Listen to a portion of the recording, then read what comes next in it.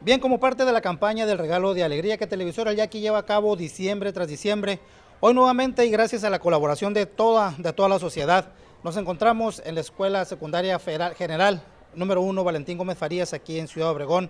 en donde afortunadamente los estudiantes respondieron al llamado para hacer realidad que el próxima, la próxima Navidad los niños de la tribu yaqui tengan en sus manos un regalo como lo que estamos viendo en estos momentos. Estamos con los directivos del plantel, vamos a platicar con ellos para, para ver eh, cómo lo hicieron,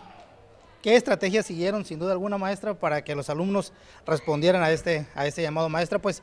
muchas gracias por esta colaboración. Pues más que nada responder a las inquietudes de ellos, de que querían llevar un poco de alegría a los niños de la tribu yaqui. ¿Cómo ven desde afuera ustedes ese tipo de campañas solidarias en las que nuestra empresa recurre precisamente a la solidaridad, al apoyo de quienes eh, nos decimos cajemenses, nos decimos obregonenses, para ir en, auxilio de quien más lo necesita? Pues es bueno porque si todos aportáramos, si todos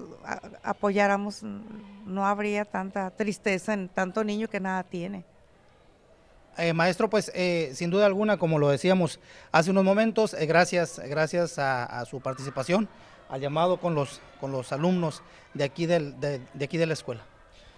sí, pues principalmente esta actividad ya se había programado por parte de la sociedad de alumnos aquí de nuestra escuela. ¿Todavía existe o todavía está presente la palabra solidaridad en, en los obregonenses, en los cajemenses?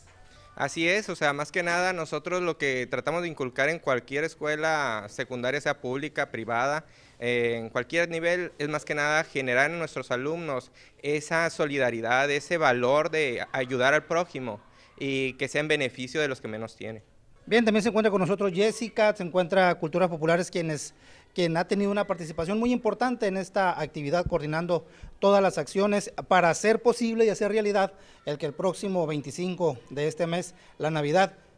cada niño de la tribu yaqui tenga en sus manos un juguete para pasar, para pasarla bien. Con imágenes y edición de Iván Lara para las noticias, Marco Antonio Palma.